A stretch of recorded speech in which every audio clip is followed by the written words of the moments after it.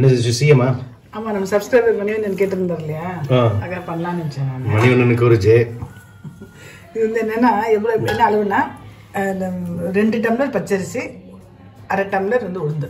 Okay. அது ரெண்டுத்தையும் நல்லா போட்டு போட்டு க- களைஞ்சிடணும் நல்லா களைஞ்சிட்டு அஹ், நல்லா ஒரு டூ டு த்ரீ ஹவர்ஸ் ஊற வச்சிடணும்.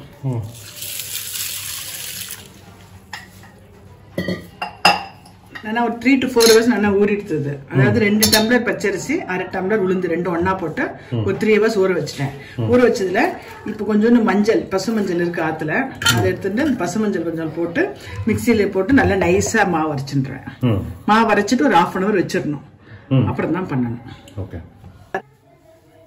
அந்த அரிசி ஊத்து ஊற வச்சதை அரைச்சுட்டேன் அதை எடுத்து மூடி வச்சிடுறேன் ஆனா போலிக் பண்றது கடலப்பருப்பு. கடலப்பருப்பு உடம்புக்கு அவ்வளவு நல்லது இல்லை. அதோட பைத்தம்பருப்பு ரொம்ப நல்லது. உடம்பு புரோட்டீன் ஜாஸ்தியா இருக்கு. இந்த நெஞ்செரிச்சல் வராம இருக்கும். அதனால என்ன பண்ணேன்? இங்க பைத்தம்பருப்பு எடுத்துட்டு இருக்கேன் ஓகே. இந்த ஊர்ல எல்லாரும் வந்து கடலப்பருப்பு எடுத்துப்பா. நம்ம போலி பண்ற மாதிரி தான். பட் இது பைத்தம்பருப்பு ரொம்ப டேஸ்டா நல்லா இருக்கும். அதனால பைத்தம் எடுத்துருக்கேன் இது எப்படின்னா இது ஒரு கப்பு பைத்தம்பருப்பு வந்து நல்லா கொஞ்சம் வேக வச்சிருக்கேன். அது பாருங்க நல்லா அதாவது ஒரு ஒரு கப்பு வைத்த பைத்தம்பருப்புனா ரெண்டு கப்பு ஜலம் விட்டுட்டு ஒரு விசில் குக்கர்ல எடுத்து அது மாதிரி நைஸ் ஆயிடும். அது மாதிரி எடுத்து வச்சிருக்கேன். தேங்காய் திருவி வச்சிருக்கேன். கொஞ்சம் சுக்கு பொடி வச்சிருக்கேன். அப்புறம் வந்து கொஞ்சோண்டு பச்சை கற்பூரம். இப்போ வந்து இப்போ ப- பண்ற இப்போ வந்து வெள்ளம் வந்து எந்த அளவுக்கு எடுத்துமோ ஈக்குவலா எடுத்துருக்கேன் இந்த ரெண்டு கப்பு வந்து ஒரு கப்பு தேங்காய் ஒரு கப்பு பைத்தம்பருப்பு இல்லையா? வெள்ளம் வந்து ரெண்டு கப்பு. இப்போ வந்து வெள்ளம் இந்த வாட்டி இப்படி கிடைச்சது ஆரஞ்சு கலர்ல அதனால அது கொஞ்சமும் கருப்பட்டி கொஞ்சம் எடுத்துட்டு இருக்கேன். ம். ரெண்டுத்தையும் போட்டு கொஞ்சம்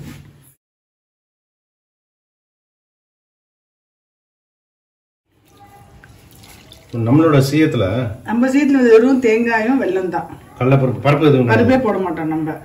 ஆனா இந்த ஊர்ல எல்லாருமே வந்து பண்ணுவா. ஒவ்வொட்டு அப்படி சொல்லிட்டு அந்த ஒவ்வொட்டு பண்ற அந்த பூர்ணத்தையும் வச்சு பண்ணுவா. கோழியோட பூர்ணம். ஆமா. அது பைத்தம்பருப்பும் வந்து பைத்தம்பருப்பு நல்லா இருக்கும் அதே ஈக்குவல் டேஸ்ட் நல்லா இருக்கும் நம்ம பண்றது மாதிரி இருந்தது அப்படின்னா அந்த பருப்பு தேவையில்லை. பருப்பு தேவையில்லை. நம்ம வந்து வெறும் தேங்காய் வெல்லம் நம்ம இந்த கொழக்கட்டைக்கு பண்ற பூர்ணம் பண்றோம் இல்லையா? அது உள்ள வச்சு போட்டுருவோம். ஓகே. கொஞ்சம் கரைஞ்சோடனே வடிகட்டிக்கிறேன் நான். மண்ணு இருக்குமோ டவுட்டாக இருக்குது சத்தம் வருது.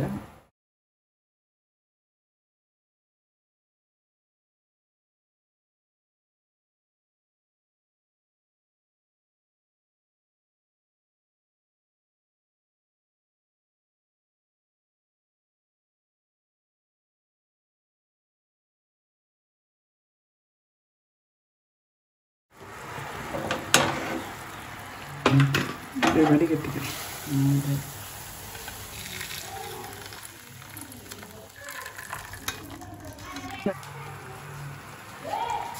கரைஞ்சிட்டு பாகு வரணும்னு அவசியம் இல்லை. ஏன்னா பைத்தம்பருப்பு வந்து நல்லா ஒட்டின்றதுனால பிரச்சனை இல்லை. இப்போ தேங்காய் போட்டுட்டு கொஞ்சம் வேக வச்ச அந்த பைத்தம்பருப்பையும் போட்டணும்.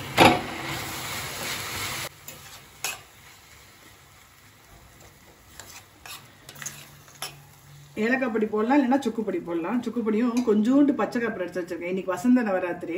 அம்பாளுக்கு அப்படியே நைவேத்தியம் பண்ணிடலாம் அப்படின்றனால அதையும் போட்டுருங்க அப்படியே கொஞ்சம் கெட்டியாகும் உருண்டை பிடிக்கிற அளவுக்கு கெட்டியாகும் அடுப்பில் சிம்மில் வைக்கிறேன் ஃபைவ் மினிட்ஸ் கெட்டி ஆயிடுத்து இறக்குற டயத்தில் ஒரு ஸ்பூன் நெய் விட்டா நல்லா வாசனையாக நல்லா இருக்கும். அதனால ஒரு ஸ்பூன் நெய் விட்டுறேன் ஆ. கொஞ்சம் ஆறினோடனே நல்லா இறுக்கிய கெட்டியாக பிடிக்க முடியும். அடுப்பில் எண்ணெய் வச்சிருக்கேன். இது கொஞ்சம் நான் ஆறுனதுக்கப்புறம் உரு உருட்டிக்கிறேன். அது இருக்குள்ள அதுக்குள்ள நடுவில் வந்து எண்ணெய் காஞ்சிருக்கணும். சிம்மில் வச்சிருக்கேன். நம்ம தேங்காய் பொருளை உருட்டி வைக்கிற மாதிரி தான். ஒரு டிக்கெட் வந்தா அதே மாதிரி பருப்பை போட்டு உருட்டி வச்சிருக்கேன். இல்லை சில பேர் கொப்பரை கூட போடுவா. தேங்காய் இல்லாமல் கொப்பரை கடலப்பருப்புக்கு அது போலி பண்ணிட்டு அந்த போலியை கொஞ்சம் உருட்டி பூர்ணத்தை எடுத்து வச்சுட்டு அது பண்ணுவா. நம்ம இந்த மாவு தனியா இருக்கணும்னு அவசியம் இல்லை. நம்ம ஆத்துல தோசை மாவு இட்லி மாவு இருந்தா கூட நம்ம போட்டுருவோம். டக்குன்னு. அந்த கருப்பட்டி போட்டனால கலர் வந்து கொஞ்சம் கருப்பா இருக்கு. ஆக்சுவலா இப்போ இந்த டைப்ல வந்து சுகர் சாப்பிட்டா ரெண்டு மணி நேரத்துக்கு நம்ம இம்யூனிட்டி பவரே கம்மியாயிடுது அப்படிங்கிறால அது இந்த இது வெள்ளை வெள்ளை சுகர் வெள்ளை சர்க்கரை இல்ல? இந்த இந்த தயவுசெய்து இந்த ஆமா. வெள்ளை சர்க்கரை மு- முடிஞ்ச அளவுக்கு கம்மி பண்ணிட்டு ம் பனங்கள் கண்டு கருப்பட்டி ம். வெல்லம் எல்லாம் நாட்டு சர்க்கரை ஆனா என்னன்னா நல்ல குவாலிட்டி பார்த்து வாங்கணும் அதெல்லாம். ஆமா சர்க்கரை சர்க்கரை வந்து இந்த காஃபிக்கு போடுறத விட நிறுத்திடணும் ஸ்லோவா ம். இல்ல நீ டூ ஹவர்ஸ்க்கு அந்த அவ்வளோ ஒரு இது இருக்கு அந்த ஒயிட் சுகர்ல டூ ஹவர்ஸ் கம்யூனிட்டி கம்மியா கம்மியாயிடும். ம். இன்னைக்கு வசந்த நவராத்திரினால அம்பாளுக்கு ஃபர்ஸ்ட் நிவேதம் பண்ணிடலாம். வசந்த நவராத்திரி ஆமா இன்னைக்கு இன்னிலேருந்து ஸ்டார்ட் ஆகுது இல்லையா? ஆமா. சரி அம்பாளுக்கு பண்ணி காமிச்சிடலாம்.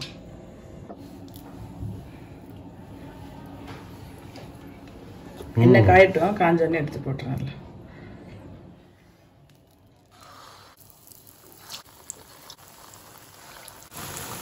இந்த ஸ்டஃபிங் வந்து நம்ம இஷ்டம் தான் என்ன வேணால் போட்டுக்கலாம் எல்லாமே நல்லா?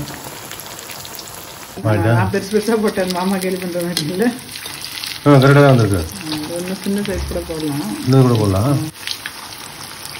மஞ்சள் பொடி போட்டுருங்க அந்த மஞ்சள் போட்டது மஞ்சள் மஞ்சள். இல்லைன்னா வெள்ளையா. ம். இப்போ இது வந்து ஃபுல்லாக நான் எடுத்து எப்படி தெரியும் செவந்து வரணும்ல நல்லா இதுவாக முறு முருன்னு ஒரு சவுண்டு வரும். கலர் இதாகிடும் சத்தம் அடங்கிடும். சத்தம் வருதுல்ல. சத்தம் அடங்கிடும். ப்ளஸ் இது பார்த்தாலே தெரியும் பாருங்க. இதெல்லாம் கொஞ்சம் முருன்னு இருக்குல்ல. ம். ஆயிட்டா? ஆயிடுச்சு. எடுத்துடுறேன் ஆ. ஆயிடுச்சுல அடுத்து வசந்த நவராத்திரி அம்பாளுக்கு ஃபர்ஸ்ட் நான் நைவேத்தியமாச்சு ம். அவருக்கு மணிவண்ணன் கேட்டார் அவருக்கும் காமிச்சாச்சு இது பயத்தம்பருப்பு செய்யும். ஆமா. எப்படின்னா ரெண்டு டம்ளர் பச்சரிசி அரை டம்ளர் உளுத்தம்பருப்பு ரெண்டுத்தையும் நல்லா கலைஞ்சிட்டு ஒரு நாலு மணி நேரம் ஊற வைக்கணும்.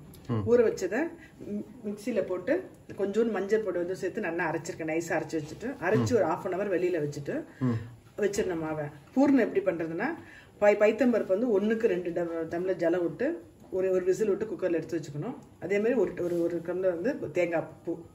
ரெண்டு டம்ளர் ரெண்டு ரெண்டு ரெண்டு ரெண்டாச்சு இல்லையா? ரெண்டு டம்ளர் வெல்லம். எல்லாத்தையும் ஒண்ணா போட்டு நல்லா கெட்டியாக கிண்டிக்கணும். அதை வந்து ஒரு உருண்டை உருண்டையாக பண்ணிட்டு இந்த மாதிரி மாவில் போட்டு போட்டு எடுக்கணும். ஓகே ஸோ மொத்தம் ப்ரிப்பரேஷன் டைம் வந்து take about half an hour half an hour ஆச்சாங்க super thank you வாழ்க வளமுடன்.